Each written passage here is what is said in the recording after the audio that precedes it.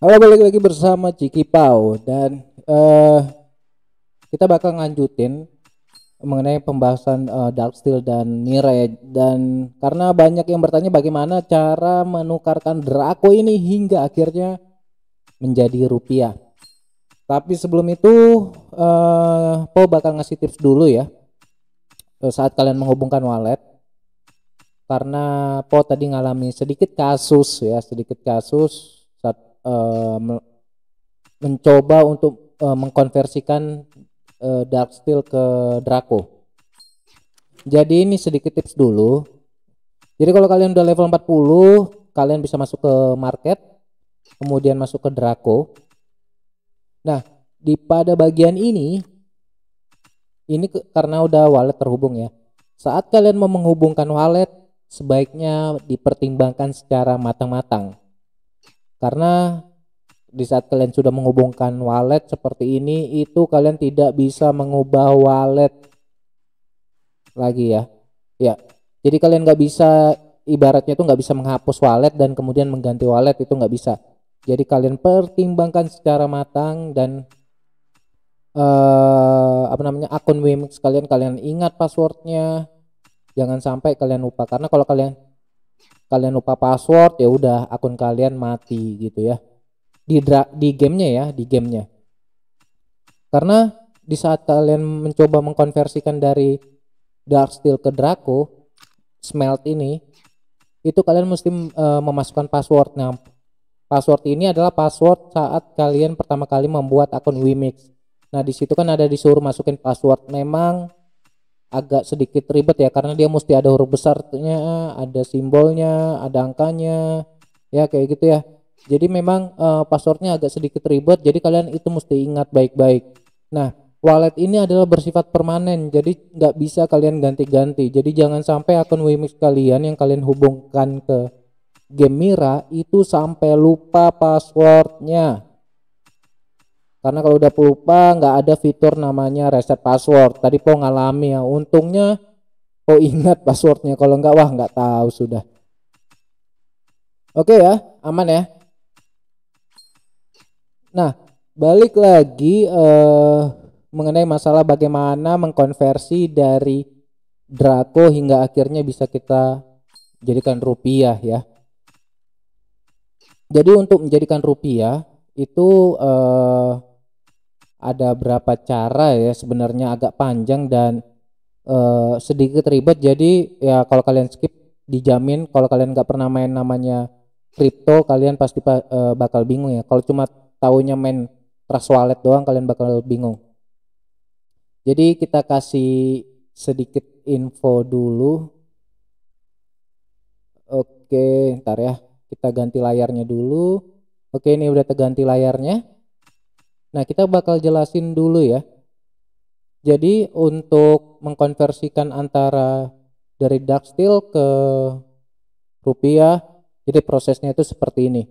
Nah, di website officialnya miradraco.com itu udah dijelasin bahwa dark steel ini bisa dikonversikan ke Draco.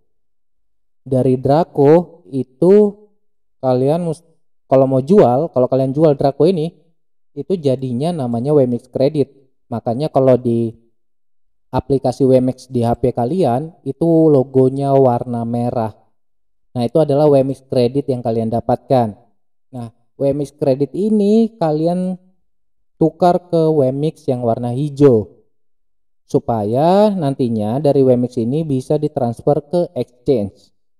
Oke. Nah, Po sendiri belum tahu uh, biaya swap uh, atau exchange-nya dari Wemix Credit ke Wemix ini nggak tahu biaya admin fee-nya ada apa enggak ya karena Po belum coba. Karena kalau misalnya kita cuma punya satu Draco doang terus kita melalui proses yang panjang ini uang kita bakal habis di perjalanan bro. Serius uang kita bakal habis di perjalanan. Jadi lebih baik Po sarankan uh, kalau kalian mau tukar ke rupiah paling enggak itu kalian punya 10 Draco lah ya karena kan harganya saat ini sekitar 14 dolar ya paling nggak satu juta lah kalian pegang. Ya ya biaya-biaya admin ya ujung-ujungnya paling dapat satu juta dua ratus gitu ya dari satu juta empat ratus. Seperti itulah ibaratnya. Nah dari Wemix ini kalau kalian udah punya Wemix Wemix hijau udah punya Wemix hijau kalian uh, bisa masuk ke Biki, exchange Biki atau enggak Bitham. Tapi uh, tadi Po coba Bitham ini agak sedikit ribet karena dia tidak ada support dengan stablecoin.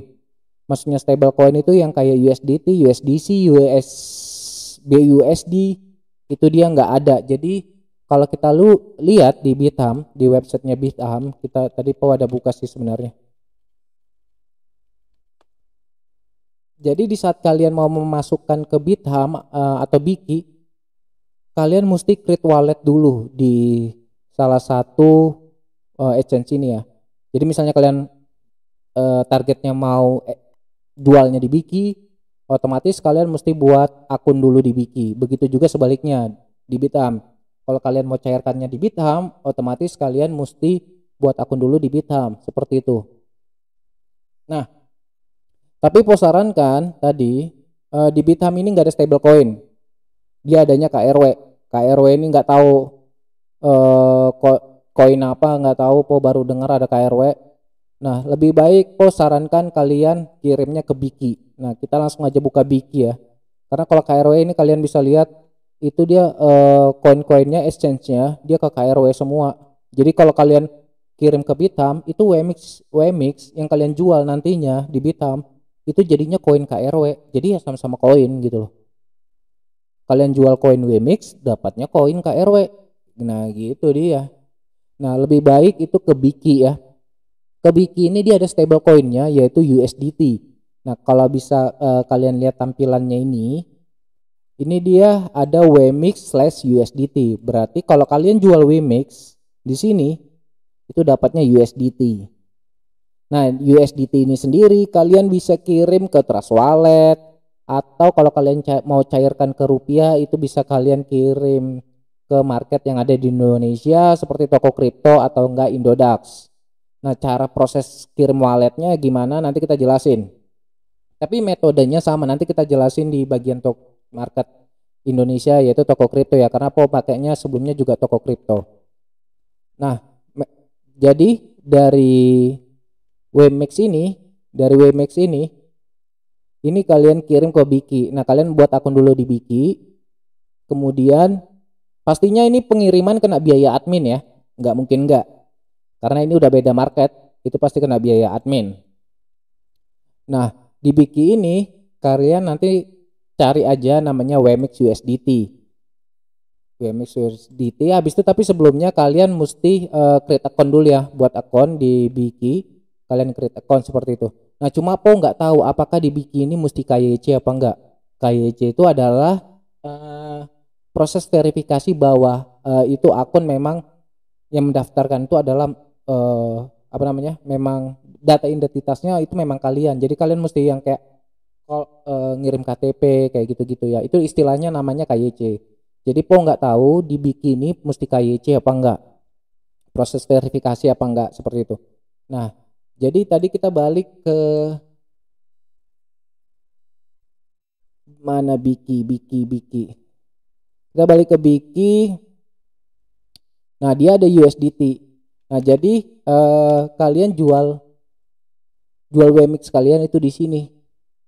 Nah, tapi ada yang perlu kalian perhatikan adalah jumlah transaksinya. Jadi jumlah transaksinya di sini memang kecil sekali. Itu dalam 24 jam itu transaksinya uh, hanya 369.000 WMX seperti itu. Dan harganya pasti biasa kalau market kecil kayak gini harganya itu jauh lebih murah. Jadi kalau kalian lihat ya pada bagian situs Draco harga WMX itu kita lihat eh, oh kita cek di coin market cap ya. Jadi harga di market cap kita cek dulu. Harga di market cap adalah 0,5 dolar ya. Nah 0,5 dolar tuh harga di Bitham. Cuma di Bitham ini agak ribet karena nah, kalian jual WMX dapatnya itu KRW gitu ya. Jual WM, dapat jual koin WMX dapatnya koin KRW gitu ya. Sedangkan koin KRW ini eh, nggak digunakan seluruh ya nggak digunakan seluruh transaksi nggak fleksibel lah Be karena nanti kalau kalian mau lempar ke Trust Wallet atau ke market di Indonesia itu bakal ribet seperti itu karena market Indonesia sendiri itu belum ada yang mendaftarkan koin KRW seperti itu ya. Jatuhnya agak ribet kalau di Bitham. Tadi Po udah coba. Jadi kalau misalnya mau anu ya kalian jualnya di Biki tapi harganya harganya jauh lebih murah karena memang kalian lihat di sini volume transaksinya kecil sekali cuma 369.000 WMX seperti itu. Namun coba kalian bandingkan dengan Bitham. Tapi ya tadi balik lagi Bitham uh, prosesnya lebih ribet. Tapi dia punya nilai transaksi yang lebih besar. Ibaratnya kalau kalian jual itu lebih cepat laku. Kalian bisa lihat perbandingannya di Bitham sendiri harganya di 0,51 dolar sedangkan di Biki itu harganya 0,49 ya rugi-rugi satu sen lah ya kalau kalian jualnya di Biki seperti itu. Nah, di sini kita bisa lihat, jadi kalau misalnya uh, harga terendah di sini sendiri ada orang uh, beli itu di 49, di 4923. Jadi kalau kalian jual di ibaratnya kalian dijual di 0,5 ya itu nggak laku. Tapi di sini 0,49 nih ada yang beli dan paling banyak itu orang jual di 0,46 ya. Orang banyak nyari di 0,46 dolar. Ada sekitar 18.000 ya. 18.000 koin uh, Wmix ya orang nyari. Ya ini koin Wmix jadi ini uh, val, uh, total value nya yang orang nyari ya jadi di 4,7 ini ada 1200 koin Wmix orang nyari begitu ya nah dari USDT ini tadi kan kita udah kena ya biaya admin antara ngirim dari Wimix ke Biki itu kena biaya admin. Nah, di sini kita jual Wimix kita, harganya pun udah turun. Udah turun karena kita ngikutin pasar ya, ngikutin pasar. Kalau kalian jual misalnya di harga 51 nggak ada yang beli, Bro, karena yang beli paling tinggi di sini 0,49 paling tinggi. Itu pun dia cuma nyari dua Wimix doang gitu ya. Cuma cuma dua Wimix doang yang nyari. Kalau kalau misalnya kalian jual mahal-mahal ya nggak tahu kapan lakunya gitu ya karena paling tinggi di saat ini ini 0,49 jadi kalau kalian jual ikutin harga Bitham 0,51 ya sampai bego baru laku ya nah seperti itu. Nanti kalau kalian udah dapat USDT nya kalian tinggal uh, mas withdraw aja. Withdraw itu penarikan uang. Nah kalian bisa manfaatkan uh, bagaimana cara mencairkan USDT tadi? Kalian bisa manfaatkan Indodax. Ini market Indonesia loh ya. Ini nanti dari USDT bisa kalian konversikan ke rupiah.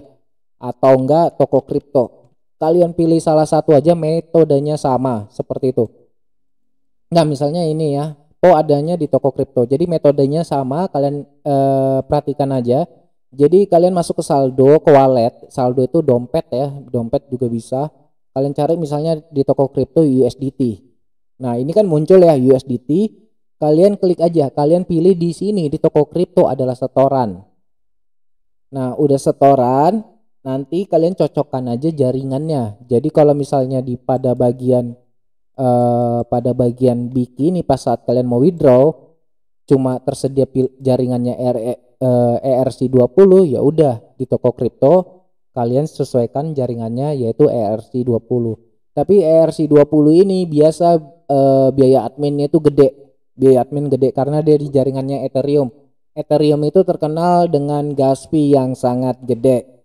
Ya, dibanding dengan uh, Binance ya, dibanding Binance ERC itu lebih mahal. Biaya gas fee-nya lebih mahal ya kalau di ERC. Nah, seperti itu. Tapi ya mahalnya nggak nggak mahal-mahal banget, paling sekitar cuma 0,4 uh, 0,4 dolar yang kayak gitu-gitu. Jadi kalau tadi kayak tadi Po bilang kalau kalian cuma jual cuma satu koin Draco ya rugi. Uang kalian bakal habis di biaya admin doang nantinya. Karena kalian mesti pindah-pindah market. Ini namanya market, bikini market, toko kripto ini market. Nah, jadi uh, di sini di bikinnya kalian withdraw, kemudian kalian masukkan uh, address kalian, kalian masukkan address kalian di biki withdraw, nanti bakal masuk ke eh, dompet toko kripto kalian di bagian USDT. Nah, seperti itu. Nah, cara jualnya lagi kalian udah dapat USDT. USDT itu adalah stable coin. Jadi harganya memang ngikutin harga uh, eh, US dollar ya. Nah, dari USDT kalian tinggal konversi lagi kok sudet lagi USDT. Kita cari uh, US BIDR. Nah, dari uh, eh, USDT tadi kalian tinggal pilih yang namanya USDT BIDR. Nah, ini harganya uh, merupakan harga dengan sama dengan harga uh, dolar ya. USDT itu stable coin. Stable coin itu maksudnya koin stabil yang mengikuti harga aslinya cuma versi blockchain seperti itu. Nah di sini kalian jual aja USDT-nya ke BIDR nah setelah laku setelah laku nanti BIDR ini bisa kalian tarik. Bisa kalian tarik ke rekening kalian. Misalnya kayak gini uh, oh ada penarikan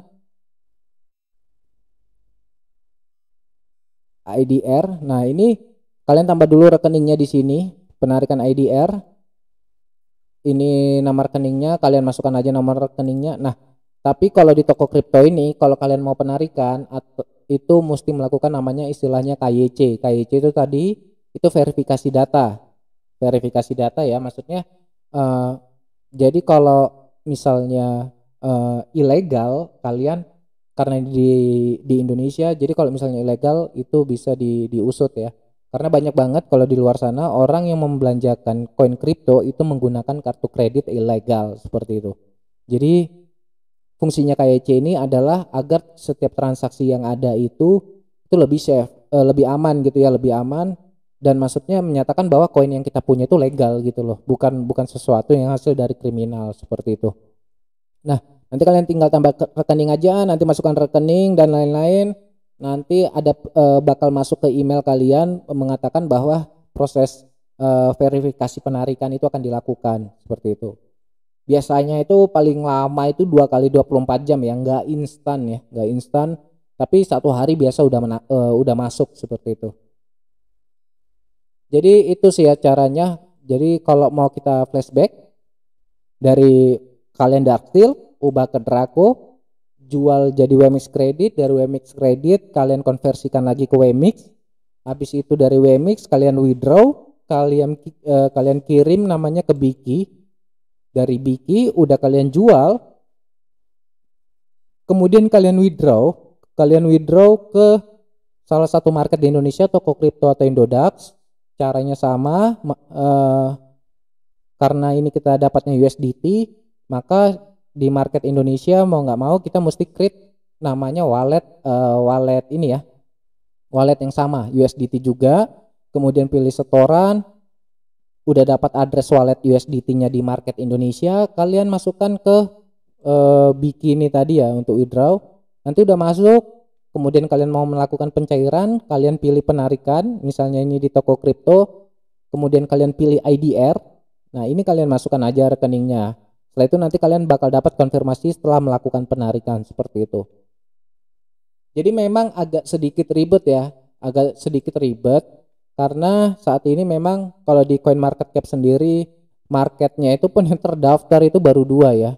Karena mungkin ini koin baru ya, koin baru nggak juga. Coba kita lihat keseluruhan.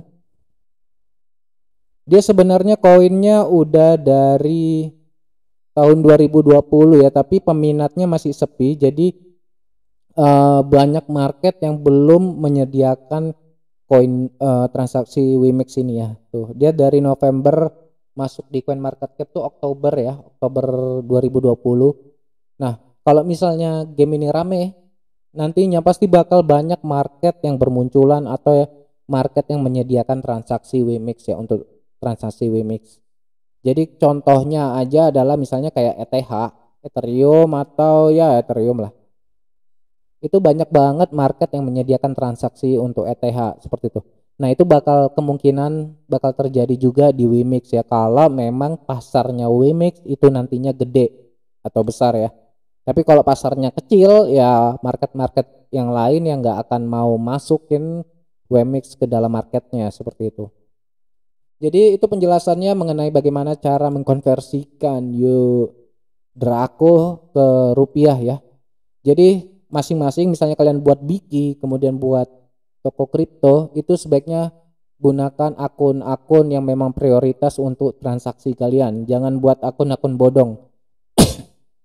Karena nanti kalau kalian salah atau lupa password itu bakal jadi lebih ribet ya karena kalau lupa password itu bakal jadi lebih ribet akun email yang mana kalian login itu maka bakal jadi lebih ribet karena di dalam itu ada perputaran uang kalian jadi gunakan akun-akun prioritas ya seperti itu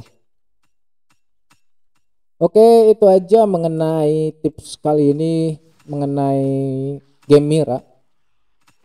Uh, mari kita melanjutkan menambang dark steel dan menyetok uh, Draco sebanyak-banyaknya. Thank you, bro.